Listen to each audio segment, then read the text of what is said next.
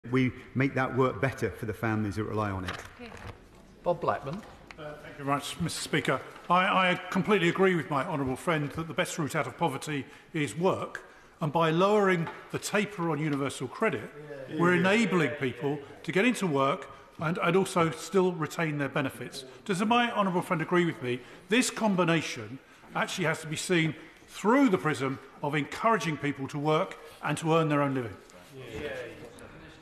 Uh, I strongly agree. I've seen the amazing work that he does in the constituency and the work he's done in Brent previously, and he sets out very clear direction through our plan for jobs. And now, at a time of record um, vacancies, we're also putting a huge focus on the way to work, which I think he would agree provides even more incentives for those who are getting closer to job readiness to move into a job and then advance their career.